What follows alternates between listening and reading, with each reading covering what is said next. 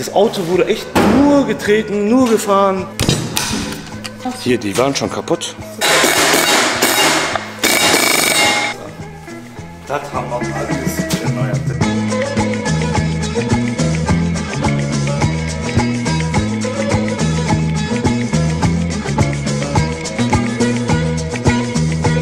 Also das kenne ich ja bei den alten Mercedes, auch bei der C-Klasse und so. Rauspressen, reinpressen. Alles kein Problem. Aber bei dem hier mit dem Luftfahrwerk hinten ist es ein bisschen anders. Das wusste ich selber nicht. Und hier zwischen ist das Lager gewesen. Dieses Lager kommt so raus, dass ihr den abbauen müsst und dann so rausholen müsst. Also quasi so. Der geht nicht hier raus, weil er hier eine Kante hat und da eine Kante hat. Ich wusste es nicht. So, tiefgekühlt hier. Boah, das will ich mal sehen, ob das jetzt so passt. Oh, was? So, tiefgekühlt. Richtig schön. Jetzt schauen wir mal. Nee. Also ohne Probleme geht hier gar nichts, Kollege. Jetzt müssen wir den bis zum Anschlag reinpressen und danach die andere Seite reinpressen. So, pressen wir das Ganze schön bis nicht mehr geht. Hopp.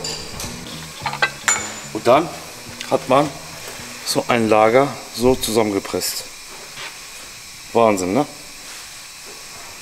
Boah, überhaupt kein Spiel. Und ja. Wahnsinn, hätte ich nicht gedacht, dass das so, so wird. Und wir haben probiert und gemacht und getan. Gut. Ich hoffe mal, dass er auch hält. Das Ding hier zusammengepresst. Das geht da so rein. Und jetzt hat er kein Spiel mehr. Ja, das ist auch geil. Guck mal, was wir gesehen haben. Leute, das waren wir aber nicht. Achtet mal. Also, wenn das Auto hier nicht mehr anspringt, wissen wir Bescheid, wo wir suchen müssen.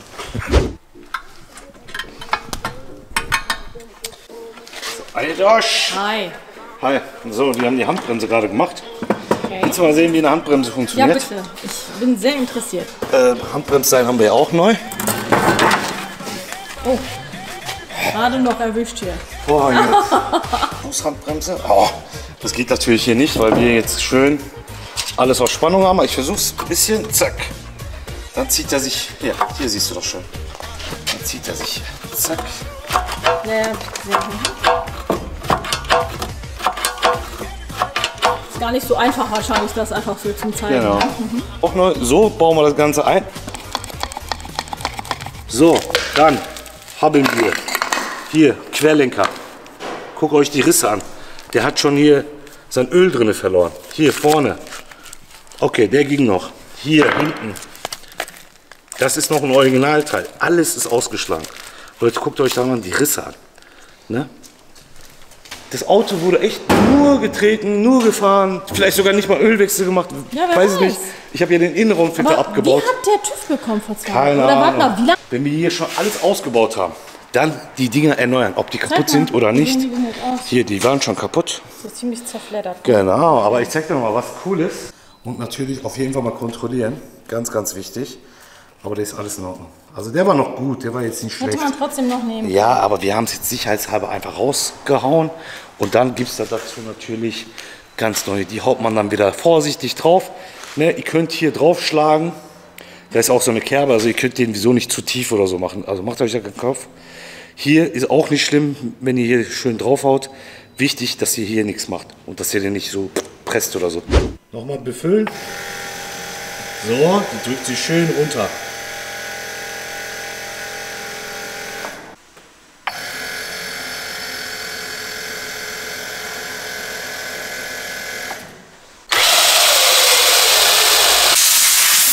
Bauen wir ja die Bremsen ein, Eidosch. Neuen Bremssattel, neuen Bremsschlauch. Hinten machen wir die Schläuche erstmal nicht, weil ich keine Bremsleitung da habe. Oh, Ja, die machen wir dann später, die Bremsleitung. Ist ja nicht schlimm. Machen wir aber einen Rahmen mit der neuen Bremsleitung. Die Narben haben wir schon mal sauber gemacht für die Bremsen. alles blitzeblank. Ja, so muss es auch sein. Ach du Heilige, guck.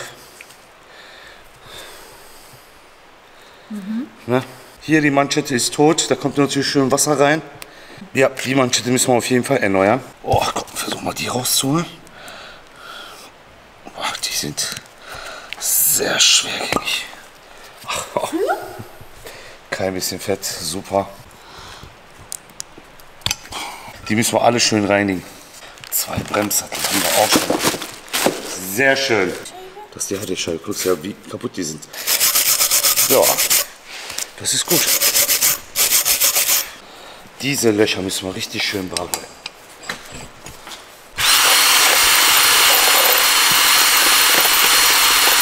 Muss das auch eingefettet werden? Ja. Ja, das passiert dir, wenn du halt eine kaputte Manschette hast. Ja. Da kommt Wasser rein und dann fängt das an zu rosten. Und dann hast du, ja. Jetzt müssen wir die hier sauber machen, Alter. Okay. So. So, ist gut.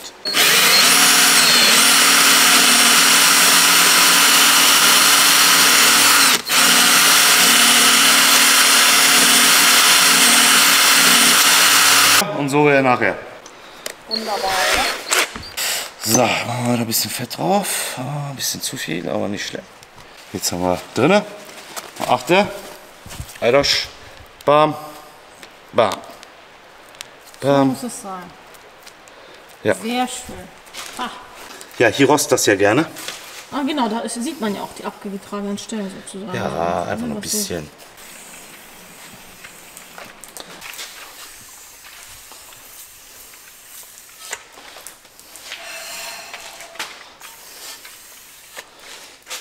Josh, das war's. Das ist sauber. Sehr schön. Das ist. Gut, Das andere auch noch. Genauso viel. Super. Guck mal, siehst du, wie der wieder zurückkommt. Ja, merke ich. Ja, das ist richtig so. Der darf nicht hängen bleiben. Das ist wichtig. Jetzt wieder raus? Und jetzt fest. Super. So muss das sein, Alter. Schön. Gucken, dass jetzt fettfrei ist. Super. Der ist auch okay, ne?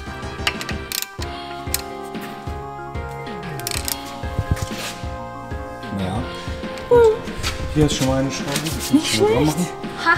Die sollte.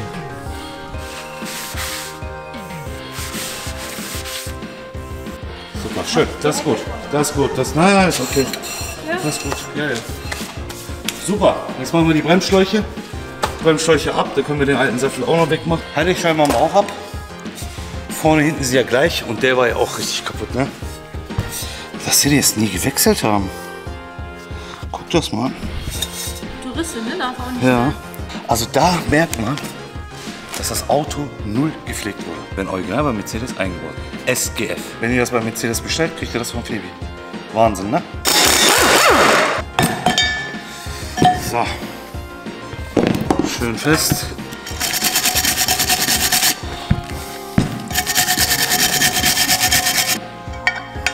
Einmal drinne. Zack. Zack. Zack. So, wenn er drauf ist.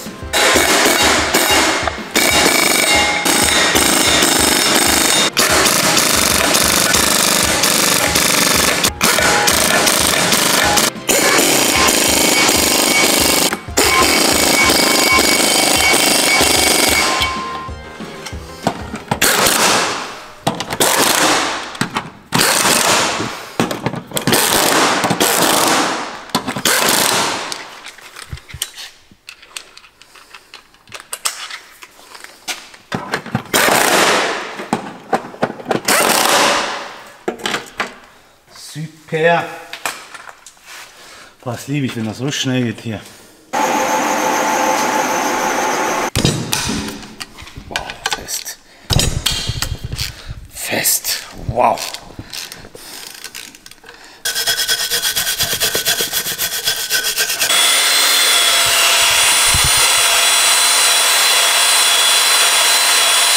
Wenn man das so schön sauber macht, hat man keine Probleme mit dem Brennen. sag. So, das dauert keine paar Sekunden. Ne? Und guck mal, wie die schön glänzen. Und jetzt machen wir da noch überall eine Schicht, bisschen Fett drauf, so ganz wenig. Und das ist das Wichtigste. Das ist so wichtig.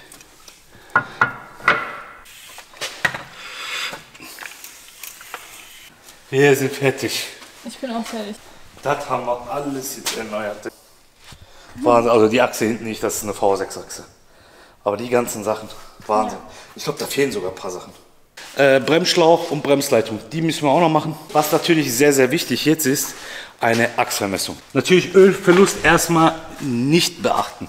Guck mal, kein Spiel mehr. Ah, doch, Spiel hier, weil die das hier noch nicht festgemacht haben. Wegen der Dings, ne? Genau. Das, das Spiel, weil.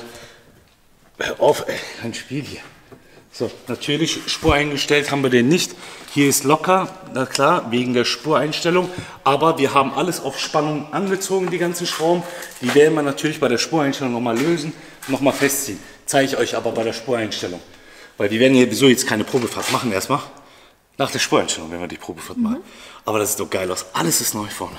Alles. Schön aus, auf jeden Ne, Traggelenk, Querlenker, Querlenker innen, Querlenker unten, vorne und so weiter und so fort. Ist ein bisschen dreckig.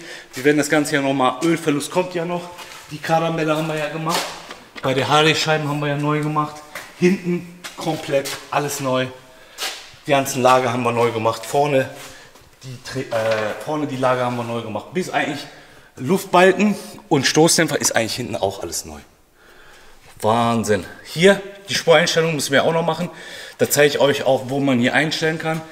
Hier ist ja die Spurstange. Das wird auch sehr interessant. So, jetzt nur noch die beiden Leitungen hier. Eidosch. Der wurde ja schon mal gemacht, aber der hat wieder gerostet. Und hier die Leitung werden wir noch machen. Das ist auch sehr, sehr wichtig. Diese Leitung hier. hier, alten, ne? genau. Das zeige ich euch auch noch mal. Hier.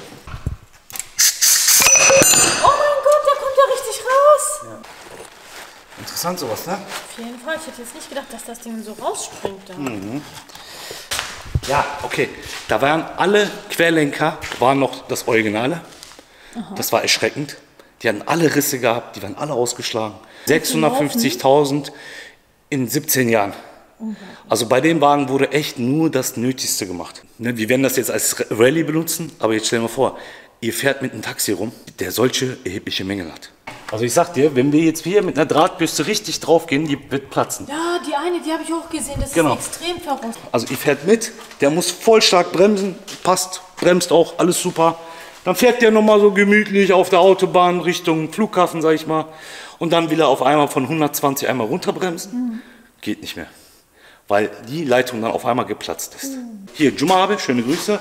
Da werden wir den auch prüfen. Jumabe kommt als erstes, geht hier rein, macht den hier auf, guckt die, diese Leitung an. Und dann macht er das hier runter, guckt er hier diese Leitung an. Das ist das Erste, was er macht bei diesem Fahrzeug. Der guckt sich da vorne an, der guckt sich die Querlenker an. Okay, hinten schlagen die nicht so wild aus. Wenn er jetzt kein Spiel hier hat, ist hier auch so gut wie nie was ausgeschlagen. Muss man auch sagen, aber hier gibt es viele Sachen, was ausschlagen kann. Ne? Und das guckt er sich alles an. Und das ist sehr, sehr wichtig bei so einem Auto. Und das hätte man schon beim letzten TÜV sehen müssen. Ja oder? klar. Haben die das erneuert? Ja, stimmt. Guck mal, hier sieht das sauber. Genau. Die haben einfach hier schlecht gebörtelt. Und beim Börteln haben die, ne, du hast ja auf diesen Bremsleitung Sch- Schutzummantelung. Das haben die schon kaputt gemacht. Das ist ja eine Stahlleitung. Und wenn du die Schicht schon mal schon kaputt machst und dann dran machst, okay, hält ein Jahr, hält zwei Jahre, nicht aber fängt dann wieder an zu rosten. wenn das sowas passiert, dann natürlich mit Unterbodenschutz arbeiten. Fertig. Nee, da hält das auch länger. Dieser Taxi ist, glaube ich, froh, dass er mich jetzt hat. Weil davor, die Probefahrt weiß ja noch, Ja. mit den ganzen Geräuschen. Ja. Und jetzt bin ich mal gespannt, was für Geräusche er danach hat. Bisschen so. Wir, wir, ja, wissen wir nicht. Und wir sehen uns beim nächsten Video. Wenn wir eine Achsvermessung machen. Und eine Probefahrt. Machen das ein. Ne? Und die Bremsleitung, die machen wir bei der Inspektion mit. Direkt. Dankeschön fürs Zuschauen. Wenn es euch gefallen hat, würde ich mich freuen, wenn ihr liked. Und wir sehen uns beim nächsten Mal. Kfz. Nicht Bis dann. Und rein. Ciao. Du hast ganz schwarz. Ist meine Kamera. Hey! Hey, hier ist ja so ein schönes Auto.